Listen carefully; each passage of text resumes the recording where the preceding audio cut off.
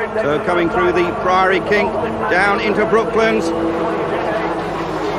And whoa, look at that. Negri goes for a wild right, crashes into the barrier. A big shunt for Oswaldo Negri in the Bowman.